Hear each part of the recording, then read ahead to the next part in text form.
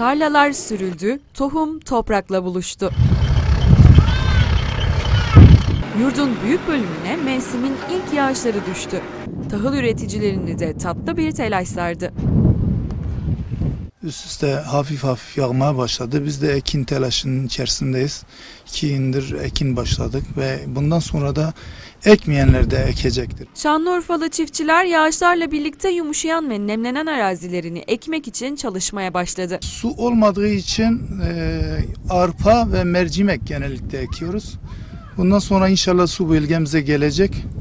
Hayırlısıyla artık buğda ve pamuk Mısır'da olacak bundan sonra. Önceki hasattan kalma ve yeni aldıkları tohumları, gübreleri römorklarla yükleyen çiftçiler günün ilk ışıklarıyla arazinin yolunu tuttu.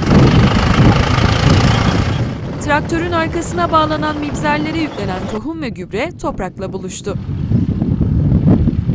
Ziraat Mühendisleri Odası Şanlıurfa Şube Başkanı Mehmet Şaka, sezon öncesi çiftçilere tavsiyelerde bulundu. teknik eleman gözetiminde ya da teknik elemanla beraber bu üretime başlamaları kendileri içinde hem ülke tarımı içinde büyük bir katkı sunacaktır